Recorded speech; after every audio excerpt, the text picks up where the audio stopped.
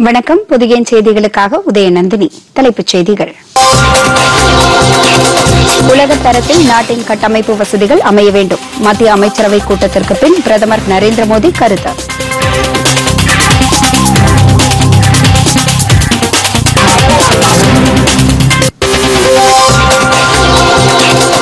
இந்தியாவில் இயற்கை பேரிடர்களால் ஏற்படும் பாதிப்புகள் கணிசமாக குறைந்துள்ளன. மத்திய அரசு தகவல்.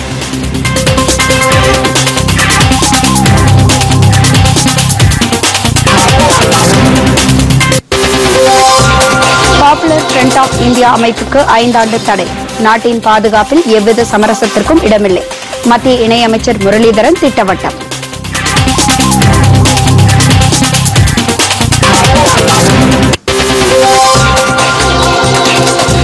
திருச்செந்தூர் சுப்பிரமணிய சுவாமி கோவிலில் முன்னூறு கோடி ரூபாய் மதிப்பீட்டில் மேம்பாட்டு பணிகள். தொடங்கி வைத்தார் முதலமைச்சர் மு ஸ்டாலின்.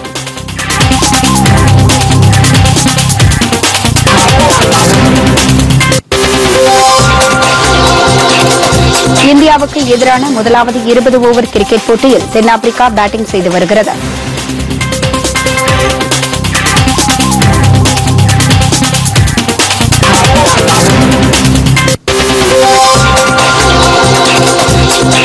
தமிழகத்தில் வட மற்றும் டெல்டா பகுதிகளில் பதினைந்து மாவட்டங்களில் ஓரிரு இடங்களில் கனமழைக்கு வாய்ப்பு. சென்னை வானிலை ஆய்வு மையம் அறிவிப்பு.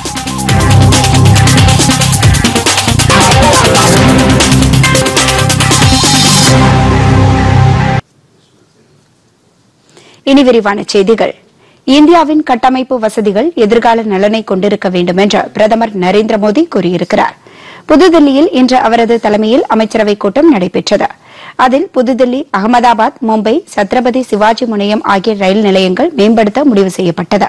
இது தொடர்பாக அவர் வெளியிட்டுள்ள டுவிட்டர் பதிவில் உலகத்தரத்தில் கட்டமைப்பு வசதிகளை வழங்க வேண்டும் என்ற நோக்கத்துடன் இந்த முடிவு எடுக்கப்பட்டிருப்பதாக கூறியுள்ளார். மேலும் ஏழைகள் நல உணவு திட்டத்தை மேலும் ஆறு மாதத்திற்கு நீட்டிக்கவும் இன்றைய அமைச்சரவை கூட்டத்தில் முடிவு செய்யப்பட்டது.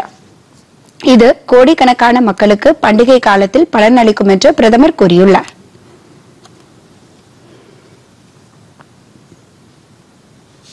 இன்றைய அமைச்சரவைக் கூட்டத்தில் மத்திய அரசு ஊழியர்களுக்கான அகவிலைப்படியை நான்கு சதவீதம் உயர்த்தவும் ஒப்புதல் வழங்கப்பட்டதாக இக்கூட்டத்திற்கு பின் செய்தியாளர்களிடம் பேசிய தகவல் ஒலிபரப்புத்துறை அமைச்சர் அனுராக் சிங் தாக்கூர் கூறினார்.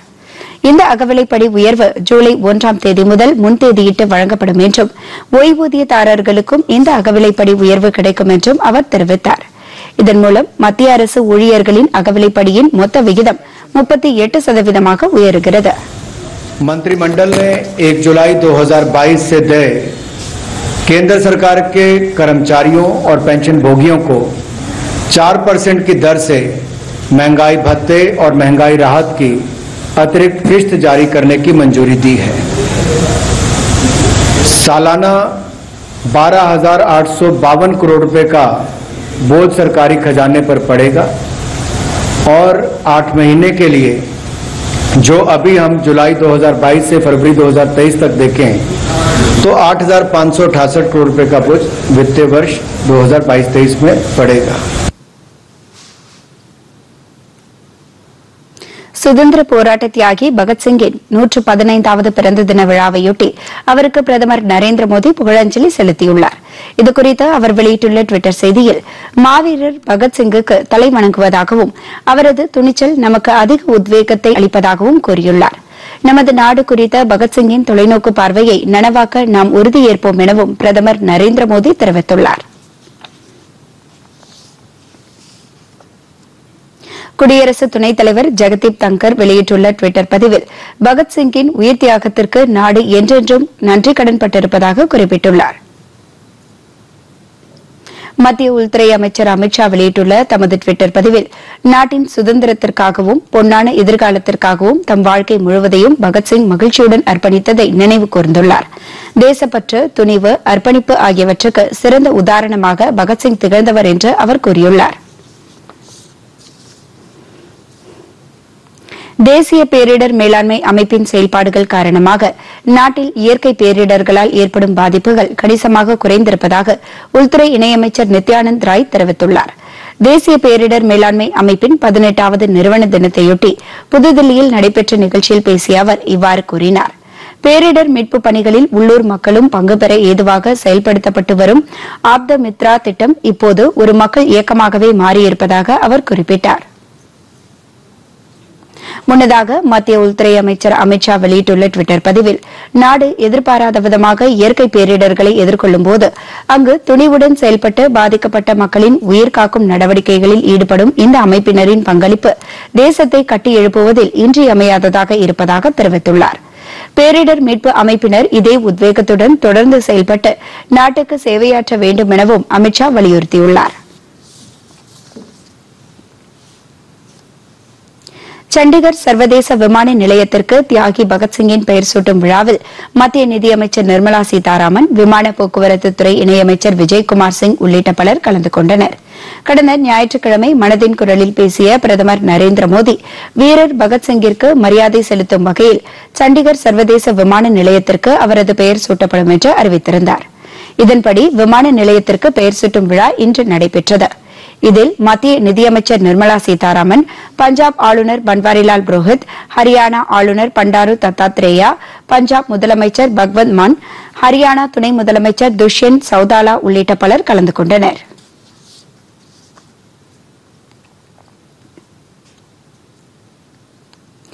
இந்திய உர நிறுவனங்கள் கனடா நாட்டின் கான்போடெக்ஸ் நிறுவனத்துடன் மேற்கொண்டுள்ள புரிந்துணர்வு ஒப்பந்தம் மூலம் நீண்ட காலத்திற்கு உரம் கிடைப்பதை உறுதி செய்யப்படும் என்று மத்திய ரசாயனம் மற்றும் உரத்துறை அமைச்சர் மன்சுக் மாண்டவியா தெரிவித்துள்ளார்.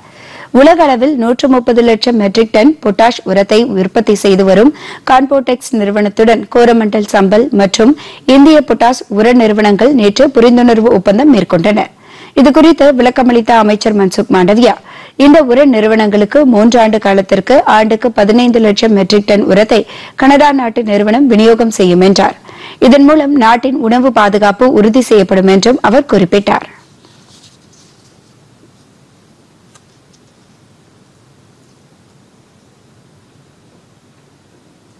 பாப்புலர் ஃப்ரண்ட் ஆஃப் இந்தியா அமைப்பிற்கு ஐந்தாண்டுகள் தடை விதித்திருப்பது பாதுகாப்பில் எவ்வித சமரசத்திற்கும் இடம் கிடையாது என்ற மத்திய அரசின் நிலைப்பாட்டை வெளிப்படுத்துவதாக வெளியுறவுத்துறை இணையமைச்சர் முரளிதரன் தெரிவித்துள்ளார்.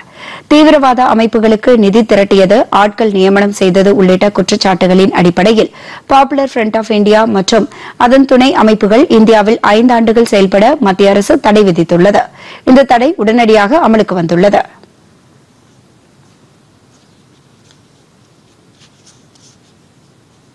முன்னதாக கேரளா கர்நாடகா குஜராத் உட்பட எட்டு மாநிலங்களில் பாப்புலர் ஃப்ரண்ட் ஆஃப் இந்தியா தொடர்புடைய இடங்களில் தேசிய புலனாய்வு படையினர் நேற்று இரண்டாம் கட்ட சோதனை மேற்கொண்டனர். அப்போது அந்த அமைப்புடன் தொடர்புடைய இருநூற்றுக்கும் மேற்பட்டோர் கைது செய்யப்பட்டுள்ளனா்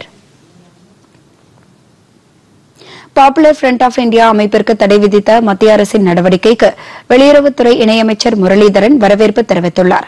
இதுகுறித்து அவர் வெளியிட்டுள்ள டுவிட்டர் பதிவில் நாட்டின் அமைதிக்கும் நிலைத்தன்மைக்கும் குந்தகம் விளைவிப்போர் மீது நரேந்திர மோடி அரசு கடும் நடவடிக்கை எடுக்கும் என்பதை வெளிப்படுத்தியிருப்பதாக கூறியுள்ளார்.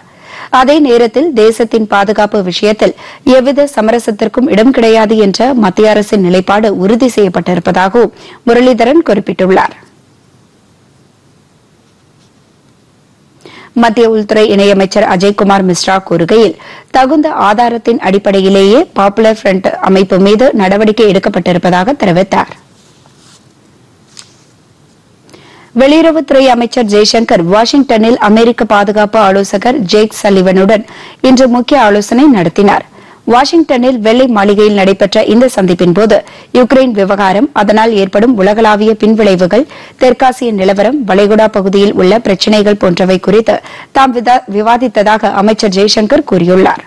இது தொடர்பாக அவர் வெளியிட்டுள்ள டுவிட்டர் பதிவில் தற்போது நிலவும் உலகளாவிய பொருளாதார சூழ்நிலைகள் குறித்தும் தாம் விவாதித்ததாக அவர் குறிப்பிட்டுள்ளார். இச்சந்திப்பு குறித்து வெள்ளை மாளிகை வெளியிட்டுள்ள செய்திக்குறிப்பில் இருதரப்பும் பாதுகாப்பு வியூக ஒத்துழைப்பு பற்றி பேசியதாக தெரிவிக்கப்பட்டுள்ளது. சர்வதேச மற்றும் பிராந்திய அளவில் முன்னுரிமை அளிக்கத்தக்க அம்சங்கள் யுக்ரைனுக்கு எதிராக ரஷ்யா தொடுத்து வரும் தாக்குதல்கள் அதனால் உலகளவில் ஏற்பட்டுள்ள உணவு எரிசக்தி போன்ற துறைகளில் ஏற்பட்டுள்ள நெருக்கடிகள் ஆகியவை குறித்தும் பேசப்பட்டிருப்பதாக அந்த செய்திக்குறிப்பில் தெரிவிக்கப்பட்டுள்ளது. சிறிய இடைவேளைக்கு பிறகு செய்திகள் தொடரும்.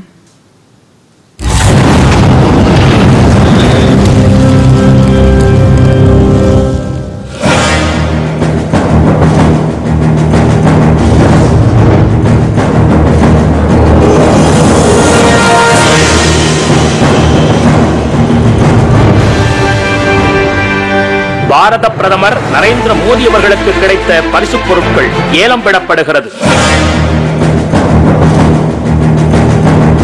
பிரதமர் அவர்களுக்கு இரண்டாயிரத்து பதினான்காம் ஆண்டு முதல் வழங்கப்பட்ட ஆயிரத்து இருநூறு பரிசுப் பொருட்கள் P M M E M E N T O S dot G O V dot in என்ற இணையதள முகவரியில் ஏலம் நடைபெற்று வருகிறது.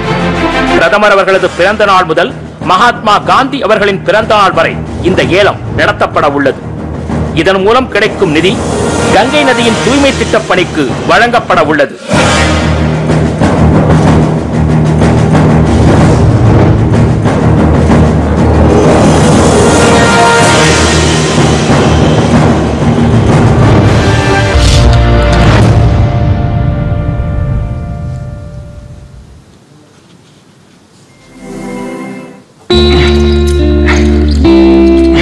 Got.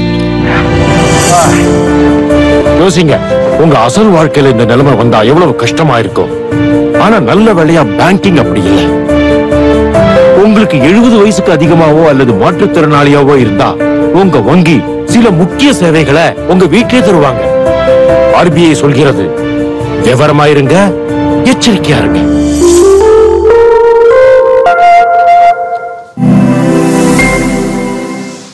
திருச்செந்தூர் சுப்பிரமணிய சுவாமி கோவிலில் முன்னூறு கோடி ரூபாய் மதிப்பீட்டிலான மேம்பாட்டு பணிகளை முதலமைச்சர் மு ஸ்டாலின் தொடங்கி வைத்துள்ளார். சென்னை தலைமைச் செயலகத்திலிருந்து காணொலி மூலம் மேம்பாட்டு பணிகளை முதலமைச்சர் தொடங்கி வைத்தார். இதில் மருத்துவ மையம் காத்திருப்பு அறை பணியாளர் குடியிருப்பு மற்றும் பக்தர்களுக்கான அடிப்படை வசதிகள் உள்ளிட்டவைகள் அடங்கும். இந்நிகழ்ச்சியில் மாநில இந்து சமய அறநிலையத்துறை அமைச்சர் சேகர் பாபு தூத்துக்குடி மக்களவை உறுப்பினர் கனிமொழி உள்ளிட்டோரும் கலந்து கொண்டனா்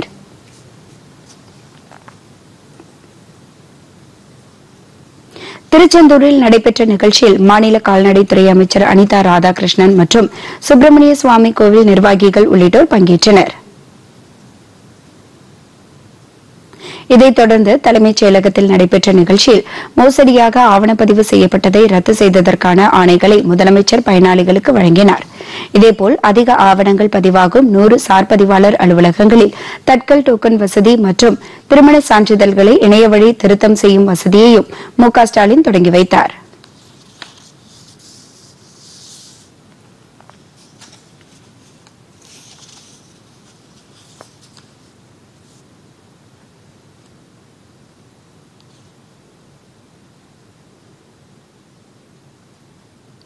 சென்னை அண்ணா சாலையில் உள்ள பூம்புகார் விற்பனை நிலையத்தில் நவராத்திரி பண்டிகையை முன்னிட்டு குழு பொம்மைகள் விற்பனையை மாநில சிறு குறு மற்றும் நடுத்தர தொழில் நிறுவனங்கள் துறை அமைச்சர் தாமோ அன்பரசன் தொடங்கி வைத்தார்.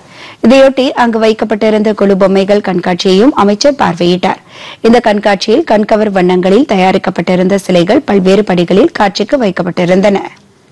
குறிப்பாக நவராத்திரி பூஜையின் நாயகிகளான துர்கை மகாலட்சுமி சரஸ்வதி உள்ளிட்ட தெய்வங்களின் சிலைகளை குழுவாக வைத்து வழிபடுவது வழக்கத்தில் உள்ளது.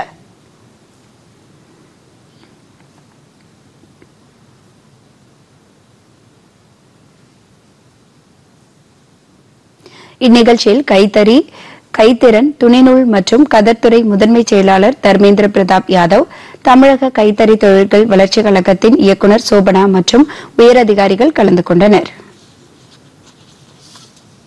கொசஸ்தலை ஆற்றின் குறுக்கே ஆந்திர அரசு புதிய அணை கட்டுவதை தடுக்க தமிழக அரசு உச்சநீதிமன்றத்தில் ஏற்கனவே வழக்கு தொடுத்துள்ளதாக மாநில நீர்வளத்துறை அமைச்சர் துரைமுருகன் தெரிவித்துள்ளார். வேலூர் மாவட்டம் காட்பாடி அருகே உயர்மட்ட மேம்பாலத்திற்கு அடிக்கல் நாட்டி வைத்து பேசிய அவர் சென்னை முதல் பெங்களூரு வரை பத்தாயிரம் கோடி ரூபாய் மதிப்பீட்டில் விரைவு சாலை அமைக்கப்பட்டு வருவதாகவும் இதற்கான நிலம் கையகப்படுத்தும் பணிகள் தொடங்கியுள்ளதும் என்றார். விவசாயம் மற்றும் குடிநீருக்காக பொன்னை ஆற்றின் குறுக்கே தடுப்பணை கட்டப்படும் என்றும் அவர் கூறினார். மேல்பாடி பகுதியிலும் ஒரு புதிய தடுப்பணை கட்ட நடவடிக்கை எடுக்கப்படும் என்றும் அவர் குறிப்பிட்டார். குடும்ப தலைவிகளுக்கு ஆயிரம் ரூபாய் வழங்கும் திட்டம் விரைவில் தொடங்கப்படும் என்றும் அமைச்சர் தெரிவித்தார்.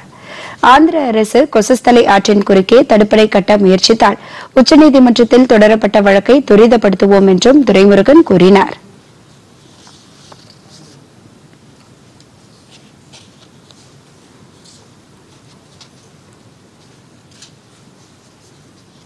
இப்போது உலக செய்திகள் சிலவற்றை பகிர்ந்து கொள்கிறார் எமது செய்தியாளர் ஜெய்சிங்.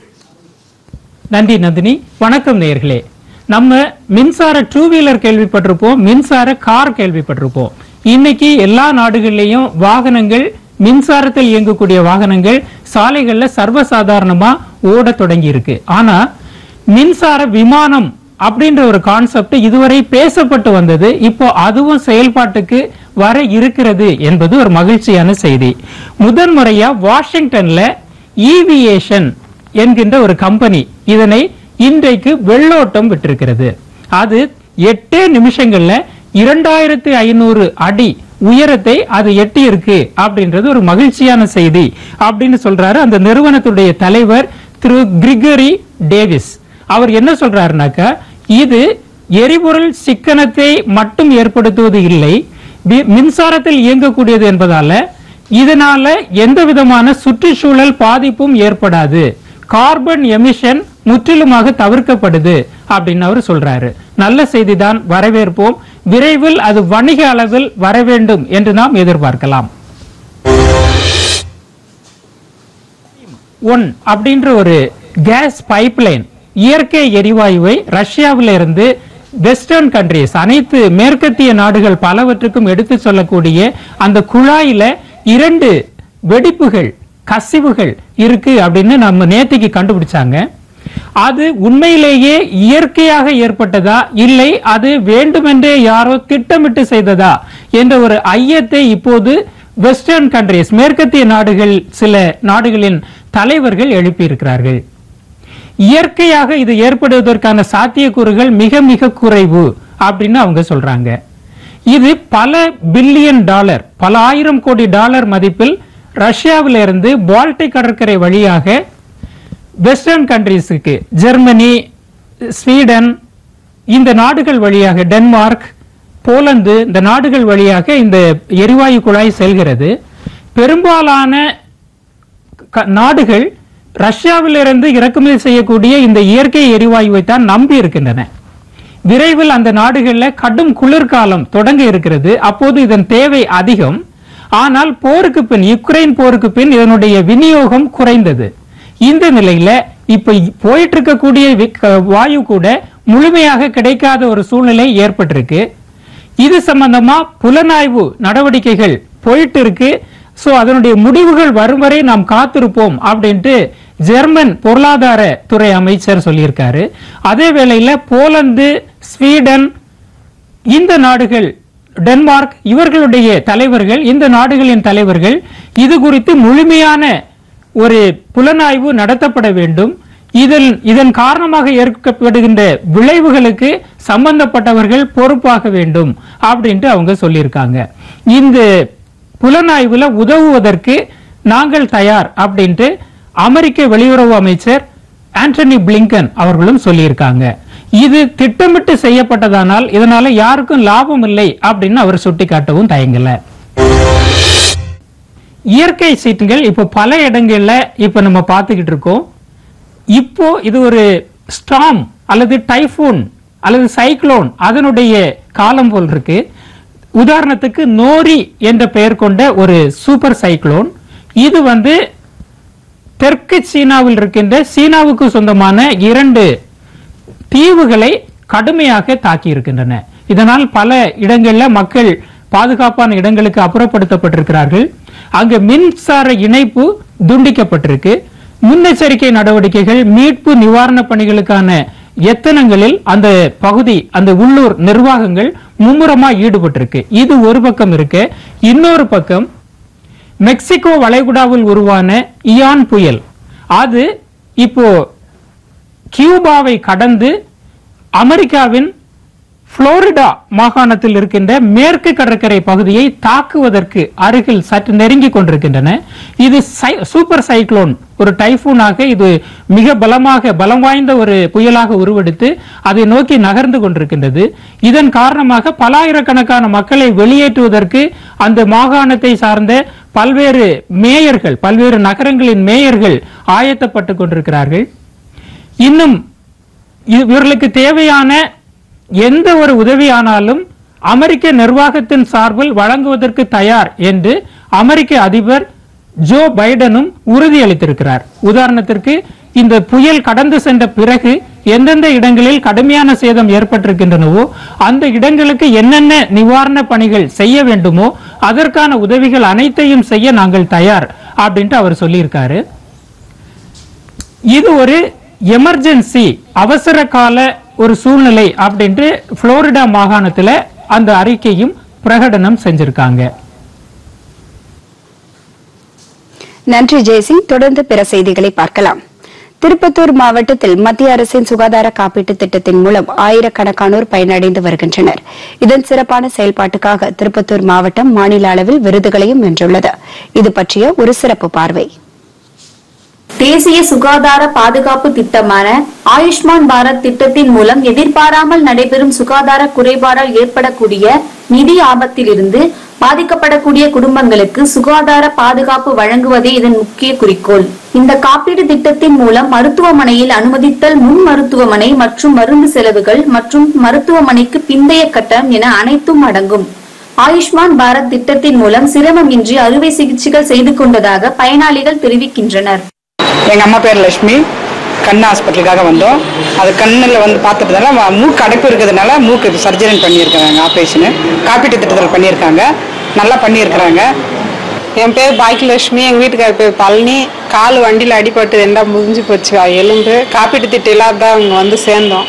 டாக்டருங்களாம் சேர்ந்து ஒரே நாளில் காப்பீட்டு திட்டம் வாங்கி எங்களுக்கு ஆப்ரேஷன் பண்ணி கொடுத்துட்டாங்க. ஆப்ரேஷன் பண்ணியிருக்காங்க நல்லா இருக்காங்க. ஆயுஷ்மான் பாரத் திட்டத்தின் மூலம் திருப்பத்தூர் மாவட்டத்தில் பல்லாயிரக்கணக்கான மக்களை பாதுகாத்து மாநில அளவில் முதலிடம் பெற்றிருப்பதாக மருத்துவ அலுவலர்கள் தெரிவிக்கின்றனர். கடந்த ஒன்று ஒன்று ரெண்டாயிரத்தி இருபத்தி ரெண்டு முதல் பதினஞ்சு ஒன்பது ரெண்டாயிரத்தி இருபத்தி ரெண்டு வரை ஆஹ், ஆயிரத்தி நூற்றி பதினாறு நோயாளிகளுக்கு ஒரு கோடி நாற்பத்தி லட்சம் அளவிலான தொகை வந்து நிவாரண நிதி மூலம் வழங்கப்பட்டு வருகிறது.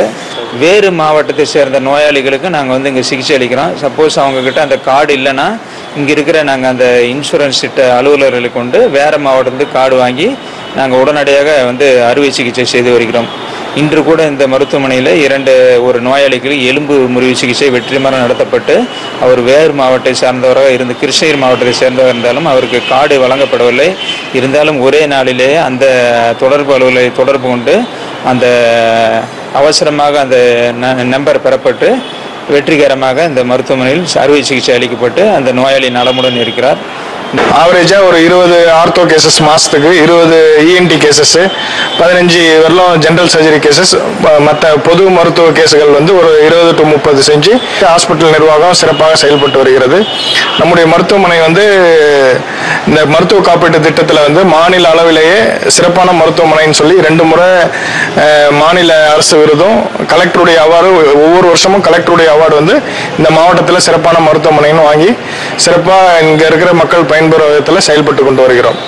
நோயாளிகள் தங்களுடைய மருத்துவ காப்பீடு திட்டத்தை வைத்திருந்தால் மட்டும் போதும்.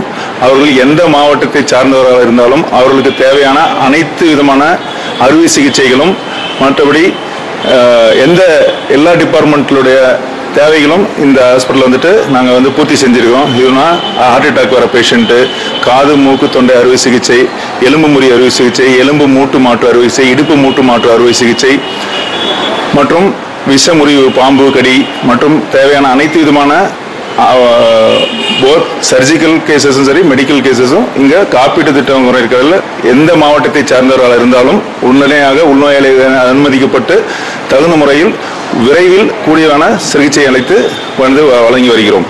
ஆயுஷ்மான் பாரத் திட்டத்தின் மூலம் சுகாதார கட்டமைப்பில் இருந்த ஏற்றத்தாழ்வுகளை சரி செய்து அனைவருக்கும் சமமான சிகிச்சை முறைகளை மத்திய அரசு உறுதி செய்து வருகிறது.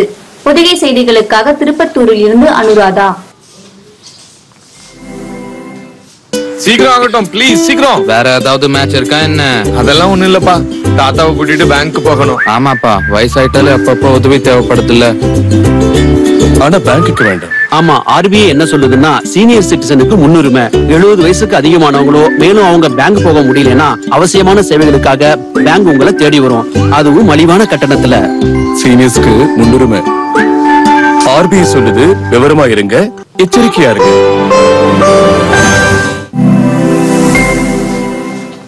இனி வருவது விளையாட்டுச் செய்திகள்.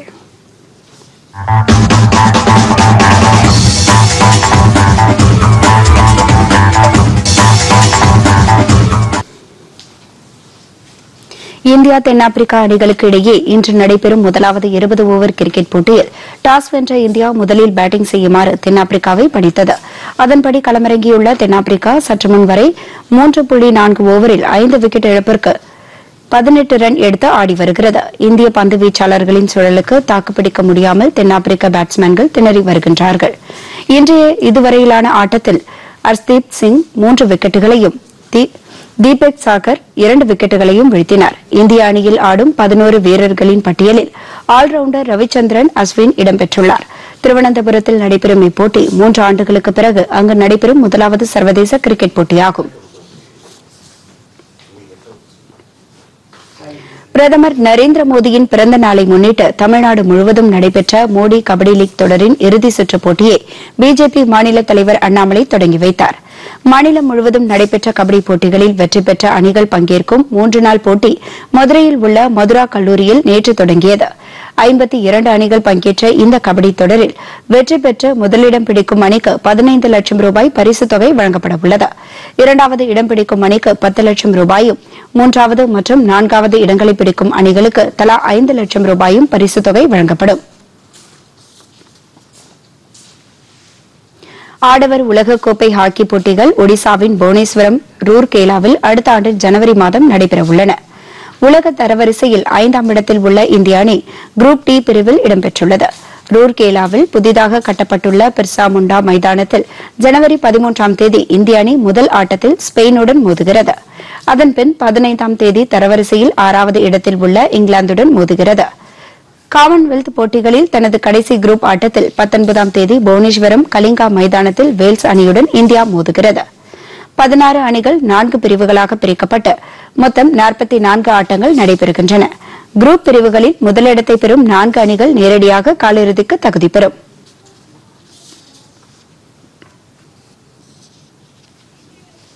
மீண்டும் தலைப்புச் செய்திகள்.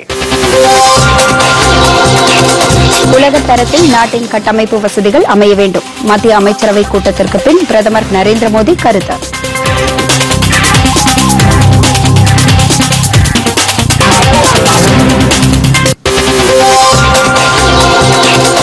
இந்தியாவில் இயற்கை பேரிடர்களால் ஏற்படும் பாதிப்புகள் கணிசமாக குறைந்துள்ளன. மத்திய அரசு தகவல்.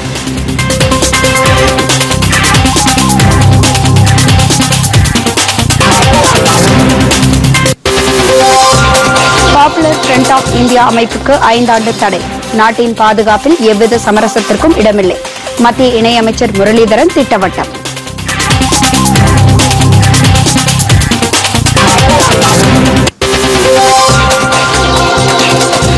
திருச்செந்தூர் சுப்பிரமணிய சுவாமி கோவிலில் முன்னூறு கோடி ரூபாய் மதிப்பீட்டில் மேம்பாட்டு பணிகள். தொடங்கி வைத்தார் முதலமைச்சர் மு ஸ்டாலின்.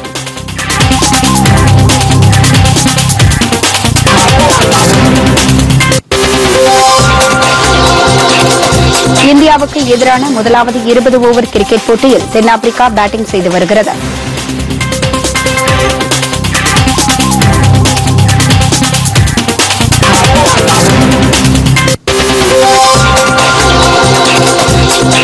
தமிழகத்தில் வட மற்றும் டெல்டா பகுதிகளில் பதினைந்து மாவட்டங்களில் ஓரிரு இடங்களில் கனமழைக்கு வாய்ப்பு. சென்னை வானிலை ஆய்வு மையம் அறிவிப்பு.